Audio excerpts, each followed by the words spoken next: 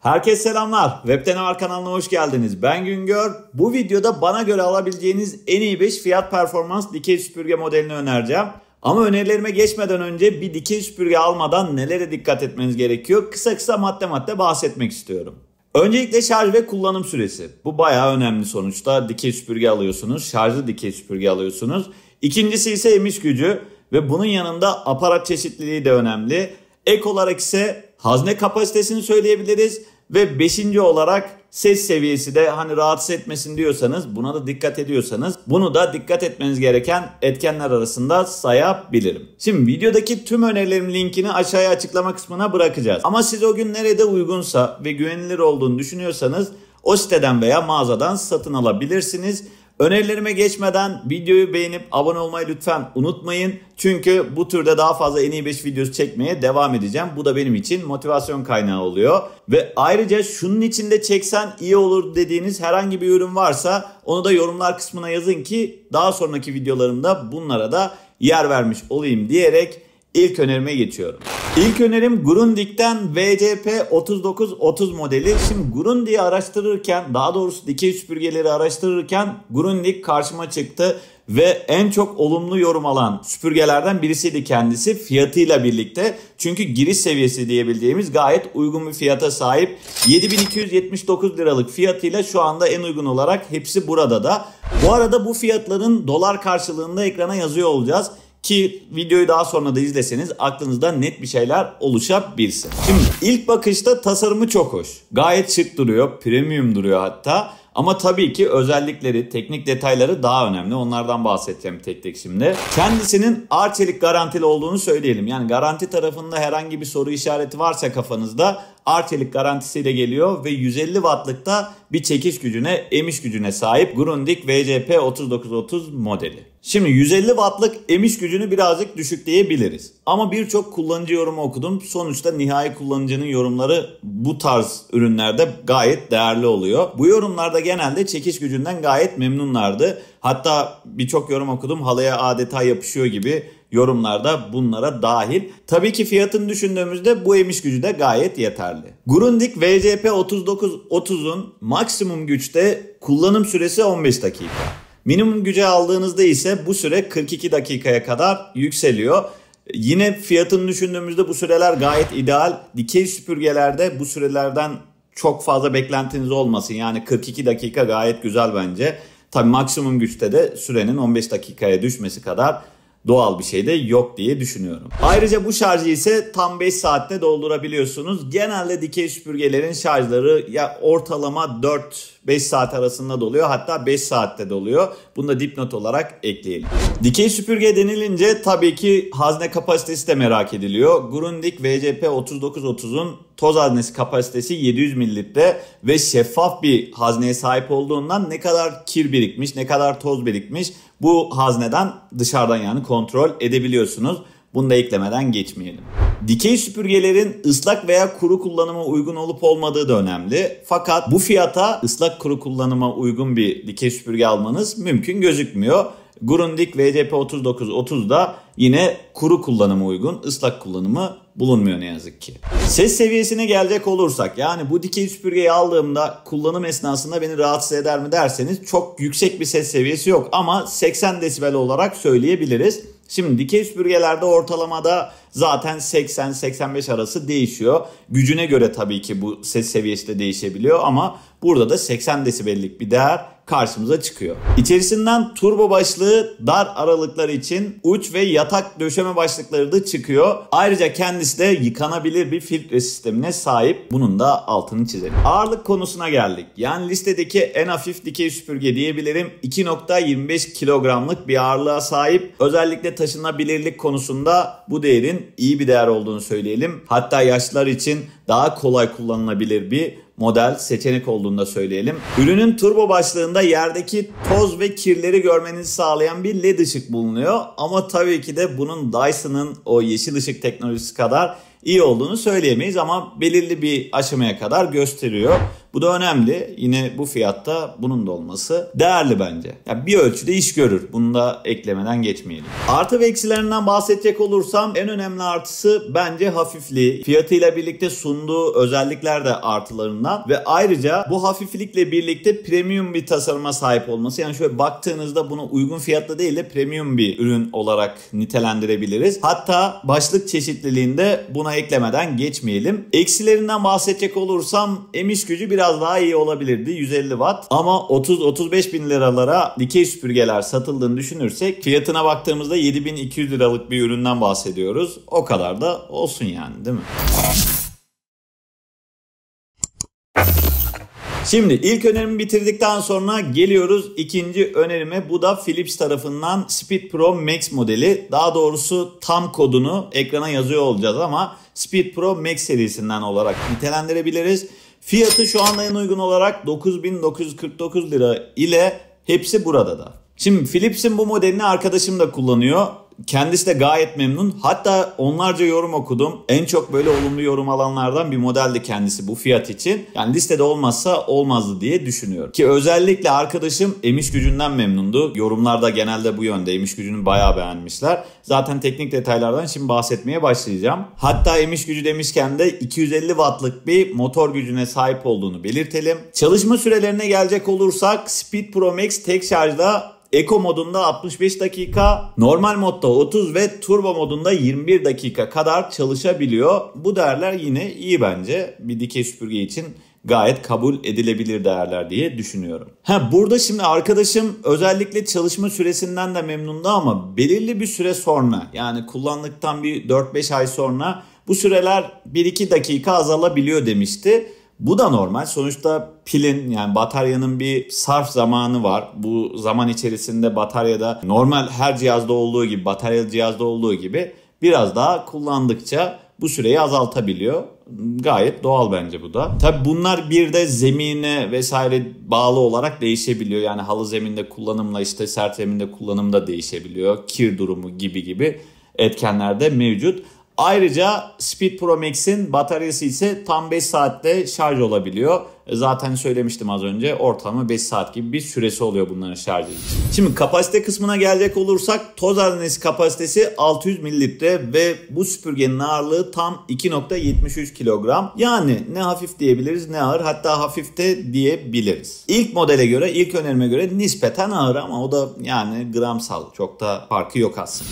Ayrıca Speed Pro Max'in de led ışığı var yani başlarındaki led ışık sayesinde yerdeki zemindeki tozları ve kirleri Bununla da görebiliyorsunuz. Ya hala hazırda bir robot süpürgeniz varsa bunu da yanına alıp özellikle robot süpürgenin ulaşamadığı işte böyle köşe bucak kısımları bununla temizleyebilirsiniz ya da mobilya aralarını bununla rahatlıkla temizleyebilirsiniz. İkisi güzel bir kombinasyon olur diye düşünüyorum. Ayrıyeten bir süpürgeye de ihtiyacınız olmamış olur. Az önce arkadaşımın evcil hayvanı olduğundan bahsetmiştim. Turbo moddaki performansından baya memnun kendisi. Özellikle böyle işte ulaşılamayan yerlerdeki kılları, tüyleri artık kirleri çok güzel bir şekilde aldığını turbo modda hatta kedi kumunun böyle saçıldığı yerlerde e, güzel bir şekilde güzel bir performans verdiğini özellikle belirtti. Ben de buraya eklemek istedim.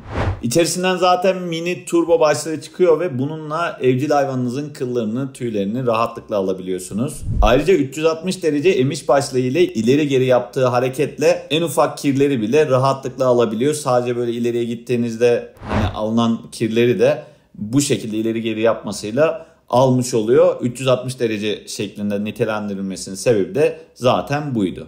Şimdi artı ve eksilerinden bahsedecek olursam en önemli artısı bence emiş gücü. Ve yine bunun yanında kullanım süresi. Zaten bahsettiğim detaylarından burada bahsetmeyeceğim. Eksi olarak ise yorumlarda veya arkadaşımın kullanım deneyimlerinden yola çıkarak söyleyebileceğim çok fazla bir eksi yok. Sadece ilk önerime göre birazcık ağır bunu söyleyebiliriz. Onun haricinde de çok fazla bir eksisini görmedim diyorum ve üçüncü önerime geçeceğim. Geçmeden önce aşağıdan kanala abone olmayı ve videoyu beğenmeyi lütfen unutmayın. Unutabiliyorsunuz ben de hatırlatmak istedim diyerek üçüncü önerime geçebilirim. Üçüncü önerim de yine Philips'ten. Yalnız bu kez Aqua Plus serisinden bir model kendisi. Yine ekrana tam kodu geliyor olacak. Fiyat olarak ise şu anda en uygun 13.899 liralık fiyat etiketiyle hepsi burada da satışta. Philips'ten ikinci önerim oldu bu listedeki ama bu önerimin bir farkı var. Az sonra onun detaylarından böyle daha iyi bir şekilde bahsedeceğim. Bu arada bu listedeki herhangi bir markayla bir işbirliğim yok. Sadece aşağıya linklerini bırakıyorum. Bunun haricinde bir işbirliğim olmadığı için hani Philips'ten ikinci öneri oldu. Yani bir işbirliğim var diyebilirsiniz. Diyenler olacaktır çünkü. Bunun altını çizmeden geçmeyelim. Az önce bir farkı var demiştim ya. Burada isminden de anlayacağınız üzere, Aqua'dan anlayacağınız üzere hem ıslak hem de kuru temizlik yapabiliyor bu model. Başlığı önemli burada. Paspas özellikli bir başlık zaten kendisi. Gördüğünüz gibi şu anda ekrana geliyor zaten. Paspas özellikli olduğu için ıslak kullanıma da imkan sağlıyor. Hem ıslak hem de kuru temizlik yapabilen bir dikey süpürge arıyorsanız kesinlikle fiyat performans bir modeldir kendisi rahatlıkla net bir şekilde öneririm. Yani Dyson'ın 25-30 binlere satıldığı şu piyasada gayet iyi bir fiyat bence. 9-10 bine böyle bir süpürge alabiliyor olmanız. Tabii ki Dyson'la şu anda bir kıyaslama yapmıyorum ama yani fiyat olarak gayet iyi seviyelerde. Fiyat performans tandemine net olarak uyum sağlıyor diye düşünüyorum. Bu dikey süpürgenin motor gücü 250 wattken yine 80 dakikaya kadar kullanım imkanı sunuyor. Turbo modunda yaklaşık 125 metrekarelik evi de temizleyebilmesi demek bu. Bence çok iyi değerler bunlar. 80 dakika tabii ki Eco modu için yani en düşük mod için söyleniyor ama işte buradaki değerlerde bence gayet iyi seviyelerde fiyatını tekrardan düşündüğümüzde. Yine başlığında led ışığında bu modelde olduğunu söyleyelim. Tozları ve kirleri daha iyi görebilmeniz adına. Ayrıca mobilyaların altına da rahatça girebiliyor ve temizleyebiliyorsunuz. Bazı süpürgelerde bu imkan sağlanmıyor ama bu önerilerimin içerisindeki çoğu süpürge buna uygundur. Belirli bir yükseklikteki mobilyaların altına rahatlıkla girebiliyor. Bu da önemli sonuçta. Toz haznesi kapasitesi 600 mililitre iken su haznesi kapasitesi ise 380 mililitre. Ayrıca bu su haznesine deterjan da ekleyebiliyorsunuz. Böyle de kullanım imkanı sunuyor. Bazılarına eklenmiyordu. Bunun da olması yine değerli. Ağırlık tarafına geldiğimizde 3.4 kilogramlık bir ağırlıkla karşımıza çıkıyor. Bu birazcık yüksek ama sizin elinizle tuttuğunuz motor kısmında değil asıl ağırlık başlık kısmında. Çünkü bu paspas özellikli bir model olduğu için başlık kısmı da haliyle ağır oluyor. Yani sizin tuttuğunuz kısım ağır olmayacağı için yormayacaktır. Asıl ağırlığı başlık kısmına vermiş oluyor. Bununla birlikte de ağırlığı gayet ideal diyebiliriz. İçerisinden ıslak ve kuru kullanım başlığı, mini turbo başlığı, dar aralıklar için aparat ve ekstra filtresi de çıkıyor. Şimdi artı ve eksilerine geldim yine. Artı olarak bence birçok artısı var. Yani Dyson'ın neredeyse yarı fiyatından az bir fiyata gayet de yetenekli bir modele sahip olmuş oluyorsunuz. Tabi tekrardan belirtmek istiyorum. Dyson'la karşılaştırmıyorum ama fiyat performans odaklı bir model olması da önemli burada. Gayet de yetenekli bahsettiğim gibi. Eksi olarak ise çok öyle aman aman bir eksisini gördüm desem yalan olur. Bu arada tekrar hatırlatmak istiyorum. Bu ürünlerin linklerini aşağıya açıklama kısmına bırakıyor olacağız. Oradan inceleyip satın alabilirsiniz dedim ve dördüncü önerime geçiyorum. Ve listenin sondan birinci önerisi yani dördüncü önerisi Xiaomi G10 modeli. Şu anda en uygun olarak yine hepsi burada da diyemeyeceğim. Bunun Trendyol'da daha uygun olduğunu hatırlıyorum. Şu anda hatırladım. Şu anda 22.749 liralık fiyatıyla hepsi burada da satışta. Ama daha uygun olarak Trendyol'da görmüştüm demiştim. 16.000 liralık fiyatıyla da Trendyol'da. Karar sizin. Ben ikisinin de linklerini aşağıya açıklama kısmına bırakacağım. Hatta o gün daha uygun fiyatlı ve güvenilir olduğunu düşündüğünüz bir yerde olursa oradan da alabilirsiniz. Ben incelemeniz adına bırakıyorum. 16 bin liralık fiyatıyla Trendyol'da satışta son iki ürün diyor. Belki bununla da alakalı diyeceğim ama bilmiyorum neden bu kadar fark var. Şu an ben de ona şaşırdım. Neyse kendisi fiyat performans odaklı bir ürün. Yani baktığınızda tasarımı çok hoş. Yani çok güzel bir LED ekranı var örneğin ama Tasarımından daha önemlisi ise bence teknik detayları. Onlardan bahsedeceğim şimdi tek tek. Geo'nun motor gücü 450 watt. Yani tam 450 watt ki listenin en yüksek motor gücü şu ana kadar. Bu da tabii ki emiş tarafında, çekiş tarafında gayet iyi bir performans sağlaması demek. Bunun altını çizelim. Baktığınızda bazen fiyatlar yüksek gelebiliyor. Yani 16 bine göre de düşünsek, 22 bine göre de düşünsek. Şu anda ikisinden de bahsettiğimiz için söylüyorum. Ama bu taraftaki performansı da çok önemli. Yani 450 wattlık bir motor gücünün olması direkt yani emiş gücüne ki süpürgeden beklentimiz nedir? Emiş gücünün iyi olması etki ediyor. Turbo modda 15 dakikalık bir kullanım süresi vaat ediyor. Eco modda ise bu süre 65 dakika kadar çıkabiliyor. Yani 2 artı 1 veya 3 artı 1 eviniz için gayet ideal değerler bunlar gayet rahat bir şekilde süpürebilirsiniz. Diğer önerilerime göre önemli etkenlerden, farklılıklardan birisi bu süpürge 3,5 saatte tam şarj olabiliyor. Diğerleri 5 saatti. Baktığımızda bu sürenin de kısalması gayet değerli. Ayrıca çıkarılabilir bir bataryası olduğu için yedek bataryayla da bu süreyi uzatabiliyorsunuz. Fakat şunu da söylemeden geçmeyelim. Belki aklınıza kutunun içerisinden yedek batarya çıkıyor gibi bir şey gelebilir.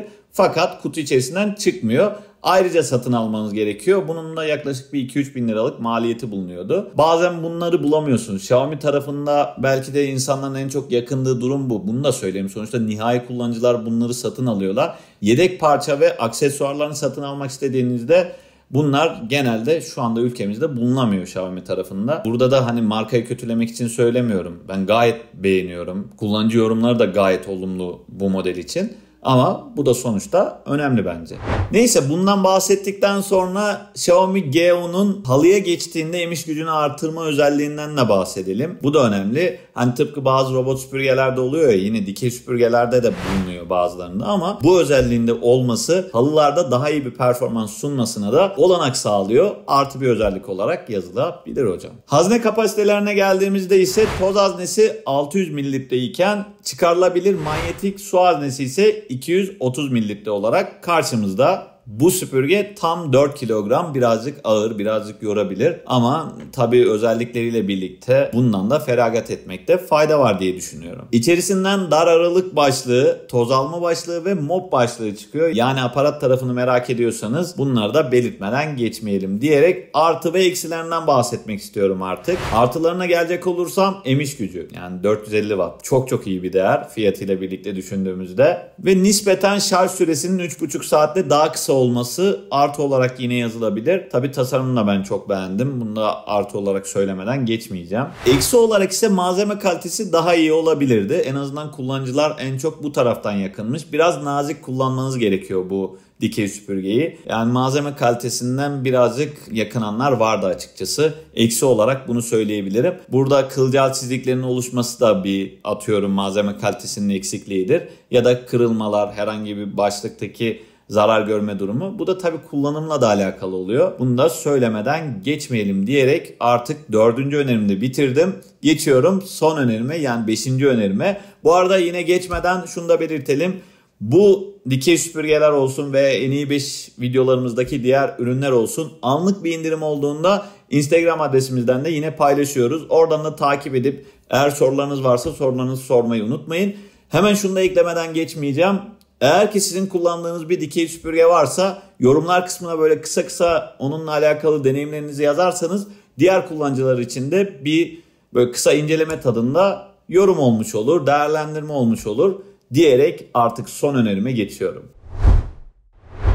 Ve geldik Dyson'a. Dyson V15 Detect Total Clean modeline. Ya böyle bir liste hazırlayıp da Dyson'ı eklememek bence hata olurdu. Tamam fiyat performans olarak bahsettik bu listeden ama Dyson'da olmalıydı hocam. Yani o yüzden ekledik. Fiyat olarak tabii artık premium bir seviyeye, özellik olarak premium seviyelere çıktık ama fiyatta da biraz öyle olduğunu söyleyebiliriz. 25.999 liralık fiyatıyla Hepsi burada da satışta. Dyson neden bu kadar pahalı? Öncelikle premium bir marka. Kendi teknolojilerini geliştiriyorlar adamlar. Yani baktığınızda örneğin lazer ışık teknolojisini kullandılar ve bayağı da konuşuldu. Bu da boş bir özellik değildi. Baktığınızda yerdeki kirleri, işte tozları daha iyi görüp daha iyi bir temizlik yapmanızı sağlıyordu. Ve boşuna da bu kadar konuşulmadı diye düşünüyorum. Ve kendi argelerini yapan bir firma, kendi teknolojilerini geliştiren bir firma. O nedenle premium segmente hitap ediyor artık. Ya bütçeniz varsa bu fiyatlara çıkılır. Yani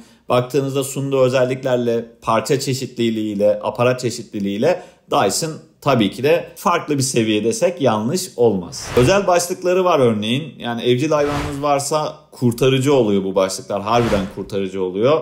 gayet iyi performanslar sunuyor. Ya şöyle bakıyorum da yani ben de bir Dyson'a sahip olmak isterdim açıkçası. Yani farklı bir noktaya geldiğini görüyorsun artık.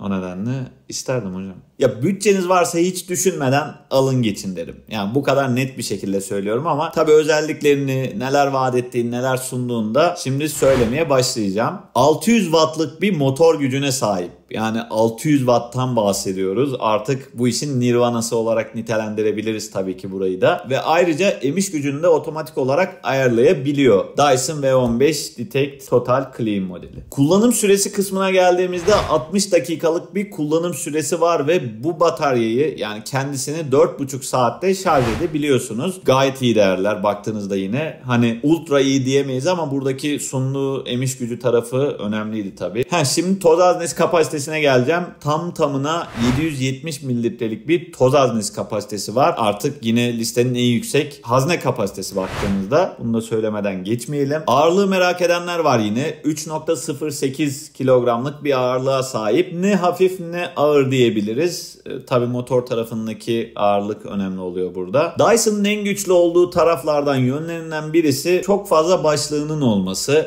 Yani farklı temizlik senaryoları için farklı farklı başlıkları bulunuyor ki bunların da performansları üst seviyelerde oluyor. Hepsini tek tek saymayacağım ama Fluffy Optik diye bir başlığı var mesela. Bunun yanında dar aralık ucu, inatçı kir fırçası gibi burada sizin de gördüğünüz üzere bu farklı başlıkları bulunuyor. Dijital mini motorlu başlıkları da var. Yine onları da görüyorsunuz.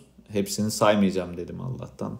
Neyse saydık abi. Özelliklerine baktığımızda zemin sensörü var kendisinde. Yeşil lazer ışığından tekrardan bahsetmiş olalım. Çıkarılabilir pili ve yıkanabilir filtresi de bulunuyor tabii ki. Bunun yanında da el süpürgesi olarak kullanılabilen bir gövdesi bulunuyor. Bu tarz ek özelliklerden de bahsetmeden geçmeyelim. Yani Dyson'ın kalitesini, Dyson'ın farklılığını söylerken bunların böyle ince detaylarını da aktarmadan geçmek yanlış olur diye düşünüyorum. Otomatik güç ayarı, renkli led gibi özelliklerinde olduğunu söyleyelim ve ayrıca burada şundan bahsetmek istiyorum. Ben Dyson almak istiyorum ama bu süpürge hem ıslak hem de kuru temizlik yapabilsin istiyorsanız burada ben Dyson'ın yine V15S Detect Submarine modelini önereceğim. Fiyat tabi bir 4-5 bin lira daha pahalı oluyor. 30 bin liralık bir fiyatı bulunuyor. Ama tabii ki kendisinin ıslak ve kuru temizlik yapabilme gibi yetenekleri mevcut. Bunu da söyleyelim. Dyson tarafında artık ben bu işin üst seviyesini istiyorum. Yani ıslak temizlik de yapabilsin diyorsanız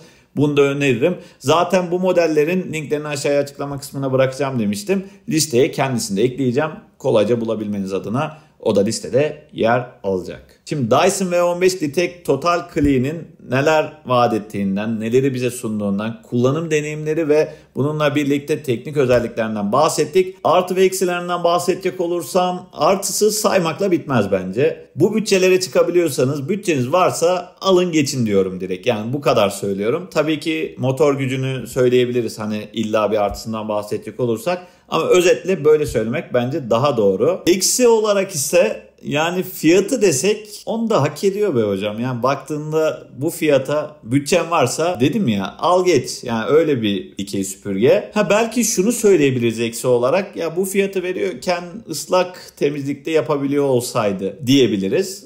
Eksi olarak belki bunu söyleyebiliriz. Bu da eksisi değildir. Zaten biraz daha yukarı çıktığınızda tabii fiyat da artıyor. Farklı bir modeli de önermiştim Dyson tarafından. Ya şimdi bana şunu sorabilirsiniz. Bu modeller arasından sen olsan hangisini alırdın? Bütçem hangisine yetiyorsa yani benim bütçem için beni zorlamayacak seviyede olan hangi modelse onu alırdım. Zaten ben burada almayacağım, size önermeyeceğim bir modeli sunmuyorum. Videoya da eklemiyorum, bu listeye eklemiyorum. O nedenle ucuzdan pahalıya doğru artık hangisi bütçenizi zorlamayacaksa onu öneririm. Tabi Dyson ve diğerleri diye bir genel geçer bir şey var. Yani kanı var. Ama tabii ki de burada Dyson'ın premium bir marka olması, premium özelliklerde sunması önemliydi. Bunun da hakkını vermek gerekiyor baktığınızda. O bütçelere çıkabiliyorsanız Dyson'ı alın geçin derim. Ama ben yarı fiyatını ancak verebilirim. Orada bana neler sunuyor, hangi model daha fiyat performans diyorsanız Philips'inkileri önerdim. Yine Xiaomi biraz daha üst seviyeye doğru çıkıyor. Xiaomi G10'u önerdim. Ama ben çok fazla para vermek istemiyorum. Uygun fiyatlı bir model olsun diyorsanız da yine Grundig'in VCP 3930 modelini önermiştim. Karar sizin. Ben size öne çıkan noktalarından, kullanım deneyimlerinden bahsettim. Umarım bu video sizler için yararlı bir video olmuştur aklınızdaki soru işaretlerini bir nebze de olsa gidermiştir. Benden şimdilik bu kadar. Bahsedeceğim başka bir şey kalmadı diye düşünüyorum. Bir sonraki en iyi 5 videosunda görüşmek üzere. Kendinize iyi bakın.